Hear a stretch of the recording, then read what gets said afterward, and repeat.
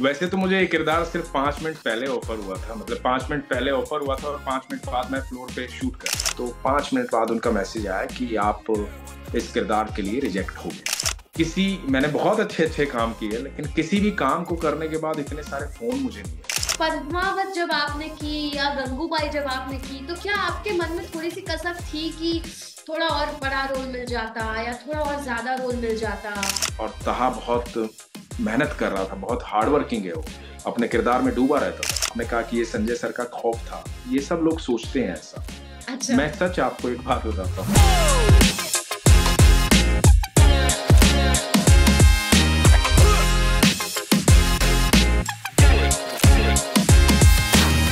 हीरा मंडी में एक डायलॉग है कि जंग लड़ना कोई शौक नहीं है इसमें शौक में वक्त जाया करते हैं लोग कुछ इस तरीके से है और जान इसमें जंग में जान भी जा सकती है है ना? और एक डायलॉग ये भी है कि अब मरेंगे नहीं अब मारेंगे है ना? जी।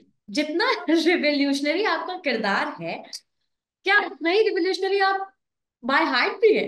हाँ बिकॉज़ मेरे फादर जो है वो एयरफोर्स में थे और मेरे फादर ने नाइनटीन जो मेरे पिता ने मुझे जब से मतलब मैं जब से समझने लायक हुआ था। हम्म, हम्म, तो हम्म। अपनी जंग के किस्से मुझे सुनाए थे और क्योंकि खानदान में सारे ही मतलब डिफेंस में रहे हैं कहीं ना कहीं। तो तो रघु में है देशभक्ति तो। रघु में है देशभक्ति तो। तो अतः आपका हीरा मंडी में जो किरदार है उस किरदार के लिए आपको काफ़ी मुझे लगता है मेहनत मेहनत भी करनी पड़ी होगी। तलफ्फुज पे बहुत ध्यान देना पड़ा होगा। ऑल दो संजय लीला भंसाली के साथ आपका ये थर्ड प्रोजेक्ट था राइट जी। हाँ तो क्या कुछ कैरेक्टर मतलब कैरेक्टर के लिए आपने प्रिपरेशन की थी हामिद के लिए? वैसे तो मुझे ये किरदार सिर्फ़ पाँच मिनट पहले ऑफ़र हुआ था मतलब पाँच मिनट पहले ऑफ़र हुआ था और पाँच मिनट बाद मैं फ्लोर पे शूट कर रहा स्टोरी जाननी थी मुझे कैसे पाँच मिनट के दौरान ये खेल कैसे होगा? हाँ तो हुआ यूँ कि मैं एक फ़ोन आया था मुझे रात को और मुझसे पूछा गया था कि आप फ्री हैं इन दिनों क्या कर रहे हैं? तो मैंने बताया कि मैं फ्री हूँ तो उन्होंने बताया कि हम एस से बोल रहे हैं। तो बात हुई तो उन्होंने कहा कि कल से शायद शूट हो सकता है, हम आपको बताएँगे। तो अभी किरदार की कोई बात नहीं है, बस ये बताया गया है। तो मुझे लगा कि जैसे पद्मावत और गंगूबाई में एक एक सीन मैंने किए हैं तो शायद यहाँ भी दो चार सीन का कुछ किरदार होगा। पर मेरा लालच ये था कि मुझे संजय सर से मिलना था, क्योंकि यही एक तरीका होता है मिलने का, इतने बड़े डायरेक्टर से कि आप उनके सेट पे जाएँ, उनसे मुलाकात कर सकते हैं, वरना तो बहुत मुश्किल होता है मिलना। तो उसके बाद फिर कास्टिंग टीम से एक फ़ोन आया कि सर एक ऑडिशन आप दे सकते हैं दस मिनट में हमें भेजना है। तो ऊपर से डिमांड आई है तो मैंने कहा ठीक है। हम्म। तो मैंने कहा कि मैं भेजता हूँ। दस मिनट में ऑडिशन भेजा गया। उसके बाद मैं इंतज़ार करता रहा दस ग्यारह बज गए रात के। तो मुझे लगा कल शूट है तो अभी तक कॉल आ जाना चाहिए था लेकिन ऐसा हुआ नहीं। तो फिर मैंने दोनों लोगों को फ़ोन किया। तो पहले व्यक्ति ने कहा कि आ, सर मेरा काम सिर्फ़ इतना ही पूछना था कि आपकी डेट्स फ्री हैं कि नहीं? और दूसरे से जब मैंने कहा, जो कास्टिंग टीम से था तो उन्होंने कहा कि मैं बताता हूँ। तो पाँच मिनट बाद उनका मैसेज आया कि आप इस किरदार के लिए रिजेक्ट हो गए। तो मुझे बड़ा अफसोस हुआ। अफसोस इस बात का हुआ कि एक तो वो मीटिंग जो मैं करना चाहता हूँ, वो नहीं हो पाएगी। दूसरा, मुझे अफसोस ये हुआ कि मेरा ऑडिशन यदि संजय सर के पास गया है तो फेल कैसे हो सकता है? क्योंकि मुझे अपने अभिनय पर, अपने टैलेंट पर बहुत अपनी काबिलियत पर भरोसा है। तो मुझे लगा कि शायद मैंने जल्दी में कर दिया ये दस मिनट में नहीं थोड़ा सा समय मुझे लेना चाहिए था। या मतलब मैं अपने अंदर उस समय खामियाँ ढूंढ रहा था कि मुझे थोड़ा टाइम उनसे मांगना चाहिए था लेकिन अब तो जो हो चुका था हो चुका था। हम्म। तो मैं सारी रात सोया नहीं और सुबह जब मैं उठा हम्म। तो अर्ध निंद्रा में तो मुझे ऐसा दुख हो रहा था इस बात का। तो मैं भगवान श्री कृष्ण को बहुत मानता हूँ। अच्छा। उनके सामने बैठा हुआ था। वैसे मैं उनसे कभी कुछ माँगता नहीं हूँ क्योंकि उन्होंने बहुत कुछ दिया है मुझे। वो हमेशा साथ रहते हैं मेरे। जी। तो उस दिन मेरे मन में आया इतने सालों में मैंने कभी उनसे कुछ मांगा नहीं। तो उस दिन मेरे मन में आया और मैंने उनसे सिर्फ़ एक बात कही कि दुनिया में इतने चमत्कार करते हो मेरे जीवन में कोई चमत्कार नहीं सत्ताईस साल बीत गए मुझे एक्टिंग करते हुए। मेरी लाइफ में कुछ नहीं होगा। तो आप यकीन मानिएगा उसी क्षण मुझे फ़ोन आता है। और फ़ोन ये आता है कि संजय सर आपसे मिलना चाहते हैं क्या आप फ़िल्म सिटी आ सकते हैं?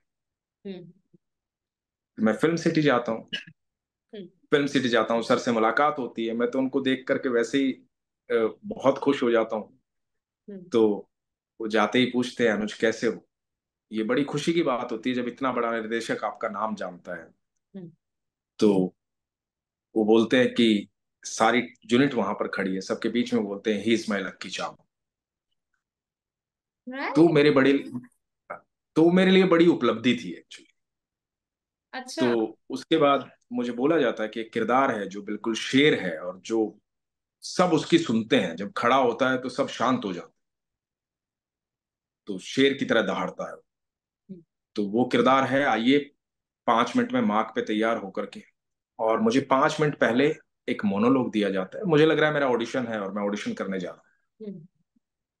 तो मैं अपनी तैयारी के साथ पाँच मिनट में मार्क पे पहुँचता हूँ मोनोलॉग के साथ। सब लोग हैरान है देख रहे हैं कि पाँच मिनट में कैसे इतना बड़ा डायलॉग याद होगा। हम्म। क्योंकि सत्ताईस साल मैंने दिए हैं और सत्ताईस सालों की तैयारी है हम्म। और ईश्वर का साथ है तो वो परफॉर्म होता है सर को पसंद आता है।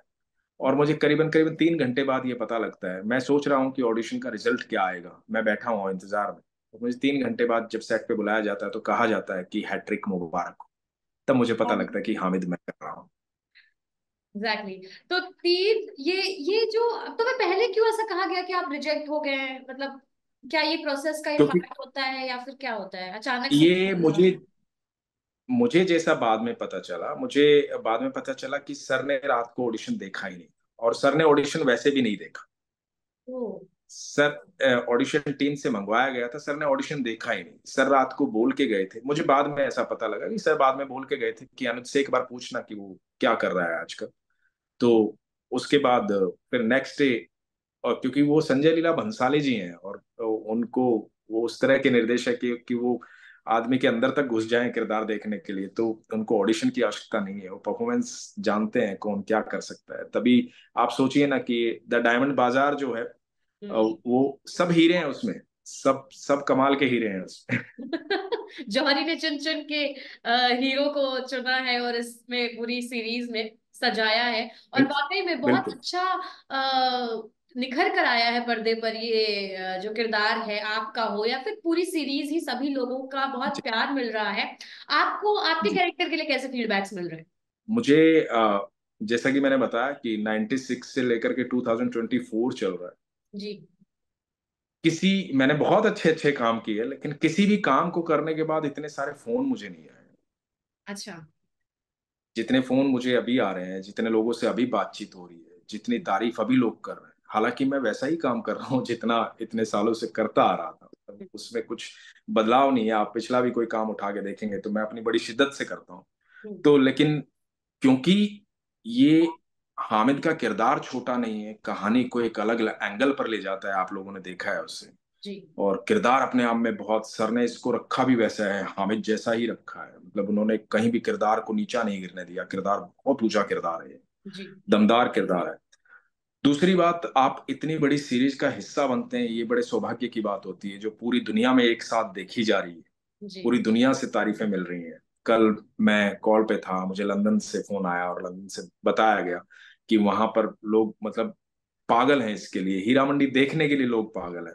तो और पब्लिसिटी तो आप देख ही रहे हैं, दुनिया देख रही है कि कितना मतलब हर जगह हीरा मंडी हीरा मंडी है। मुझे नहीं लगता कि इससे पहले कभी सौ साल के हिंदुस्तान के सिनेमा में इस इस तरह से लोग किसी चीज़ के लिए पागल हुए होंगे लोग लोग ये कह रहे हैं कि फाइनली नेटफ्लिक्स ने इंडियन कंटेंट को इतना प्रमोट कर रहा है, इतना वैल्यू दे रहा है और फाइनली ओटीटी के जो दर्शक हैं, उनको कुछ ऐसा मिल गया है, कुछ जिसे जिसे वो सराह सकते हैं, जिसे वो देख सकते हैं, जिसे वो प्यार दे सकते हैं।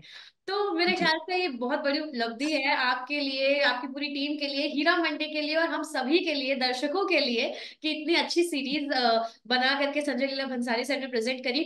अच्छा पद्मावत जब आपने की या गंगूबाई जब आपने की तो क्या आपके मन में थोड़ी सी कसक थी कि थोड़ा और बड़ा रोल मिल जाता या थोड़ा और ज़्यादा रोल मिल जाता? बिल्कुल थी बिल्कुल थी। जब मैंने पद्मावत की तो पद्मावत क्योंकि एक ही सीन था और मुझे लग रहा था कि यार एक सीन मतलब एक सीन में मैं क्या ही कर लूँगा।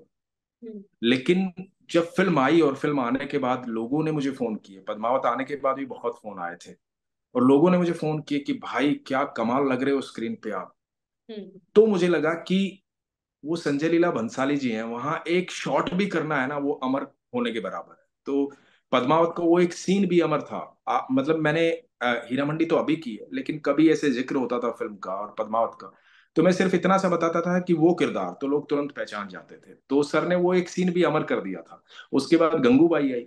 गंगूबाई में तो मुझे लगा था कि यार, ये सीन तो कहीं काउंट ही नहीं होगा, कुछ होगा ही नहीं इस सीन का। मैं अफसोस में था इस बात के लिए कि मतलब है छोटा सा सीन है, पता नहीं, कई बार क्या होता है कि इतना बड़ा सिनेमा है, आपका एडिट में कट भी जाता है।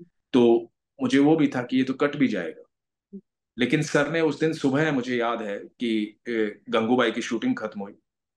सुबह पाँच बजे मैं सर से मिला और सर से मैंने जाके कहा कि सर मुझे एक अच्छा किरदार चाहिए आपके साथ। मुझे करना है सर। हम्म। तो सर ने मुझे कंधे पे हाथ रख के थपथपाया था और कहा था कि समय आएगा और ज़रूर करेंगे।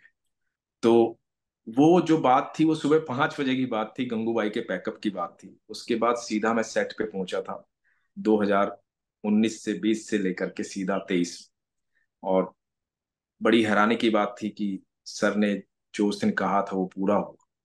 तो गंगूबाई जब मैंने छोटा सा किरदार था तो हैरान मैं इसलिए हुआ कि इतनी बड़ी फ़िल्म है वो, इतना बड़ा सिनेमा है वो, और उसका जब टीजर आया, पहला टीजर जिसका लोग इंतज़ार कर रहे थे, उस टीजर में मेरा वो सीन था विद डायलॉग। तो मुझे बहुत फ़ोन आए कि आप गंगूबाई में आपने किरदार किया, गंगूबाई में तो मैंने लोगों को बोला, मैंने कहा, जितना टीजर में दिखा, उतना ही है भाई, उतना ही किया मैंने। हम्म। लेकिन लेकिन अनुज जैसे आपने बताया कि आपका किरदार इतनी जल्दी फाइनल हुआ, पाँच मिनट में आपने कहा कि फाइनल हुआ, एक रात पहले आपके पास कॉल आया। दूसरा ताहा ने बताया था कि उनका जो कैरेक्टर था ताजदार का वो कैरेक्टर एक्चुअली उनको नहीं मिल रहा था उनको शायद दूसरा कोई कैरेक्टर मिल रहा था और उसके बाद फिर सर ने पता नहीं क्या देखा क्या बोला क्या समझा कि उन्होंने कहा कि तुम ताजदार का कैरेक्टर प्ले करोगे। तो ताहा के साथ जो आपकी केमिस्ट्री थी क्योंकि आपने सब काफ़ी शूट किया है साथ में बिब्बो जान के साथ आपने काफ़ी कुछ शूट किया है अदिति के साथ मल्लिका जान के साथ शायद आपका सिर्फ़ एक सीन है जब खाना खाने वाला सीन जी, है जी, है ना? तो बाकियों के साथ आपने आपका कोई सीन है नहीं बाकी जो एक्ट्रेसेस हैं उनके साथ। तो सबसे ज़्यादा आपको क्या लगता है मज़ा किसके साथ काम करने में आया? या ये कहें कि सबकी अपनी अपनी क्वालिटीज होती है कैसे थे वो एक्टर्स कॉपरेटिव थे? क्या क्या था सेट का माहौल कैसा था? मुझे आ, ऐसा लगता है भावना कि इतने बड़े सेटअप पे जब हम होते हैं और जब निर्देशक संजय लीला भंसाली जी हम्म। तो हर व्यक्ति है ना पूरी मेहनत से पूरी शिद्दत से काम करता है क्योंकि उसको साबित करना है क्योंकि ये मौका हर किसी को मिलता नहीं। हम्म। हम जिस शहर में रहते हैं जिस इंडस्ट्री में हज़ारों लाखों लोग रोज किस्मत आजमाते हैं और बहुत मेहनत करते हैं सब। तो ऐसा मौका जीवन में बार बार मिलता नहीं है कि आप इतने बड़े निर्देशक के सेट पर एक महत्वपूर्ण किरदार निभा रहे हैं। तो हर कोई अपना हंड्रेड परसेंट देना चाहो और दे रहा हो। तो उसकी तैयारी सब कर रहे होते हैं। मतलब मुझे कभी ऐसा नहीं लगा कि सेट पे कोई भी व्यक्ति अपने काम को लेकर के सीरियस नहीं है। कहीं भी कोई मज़ाक मस्ती चल रही है सब अपने काम में डूबे रहते थे। चाहे अदिति हो अदिति तो पहले से ही इतनी बड़ी स्टैब्लिश स्टार है और तहा बहुत मेहनत कर रहा था बहुत हार्ड वर्किंग है वो अपने किरदार में डूबा रहता था। और उसके अलावा जो मेरे साथ में कलीग हैं जैसे नवाज़ का किरदार है बलराज का किरदार है जाकिर का किरदार है। जी।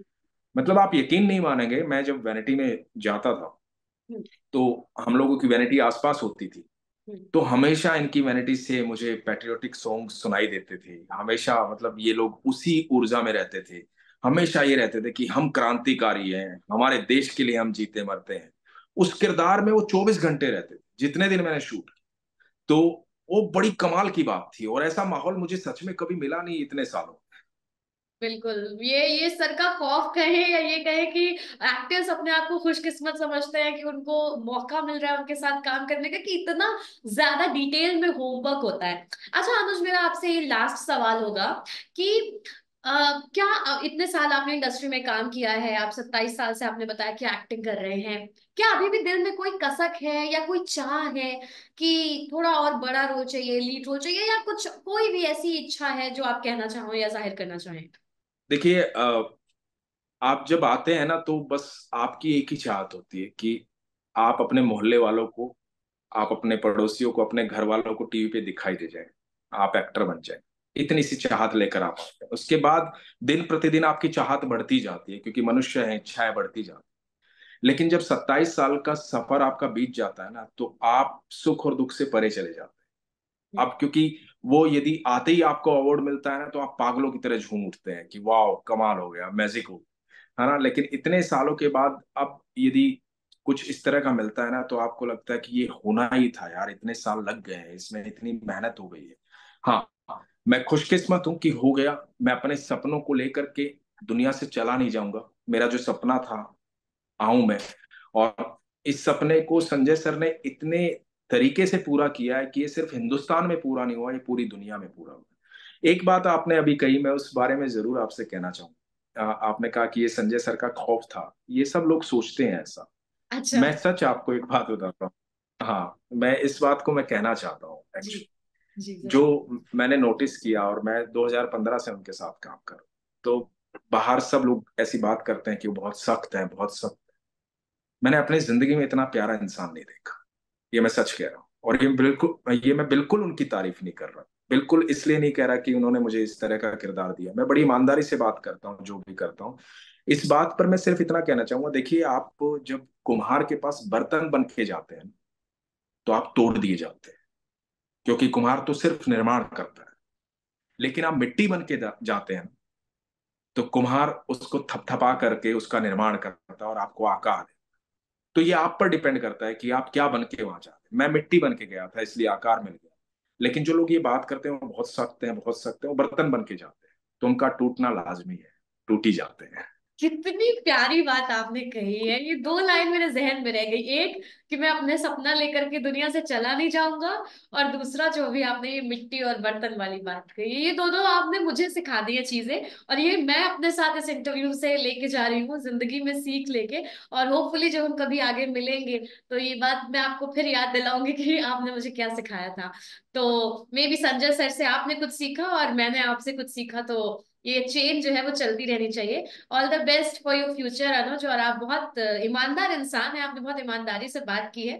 और ऐसे ही संजय सर के साथ भी आपके भी तो हैट्रिक हुई है। ऐसे ही खूब सारी खूब सारी खूब सारी आप फ़िल्में सीरीज़ और कंटेंट करते रहे। और वैसे भी आपको खूब सारा काम मिले। यही हमारी दुआ है। और थैंक यू आपने अपना वक्त दिया। Thank you Bhavna ji. बहुत बहुत धन्यवाद आपका भी।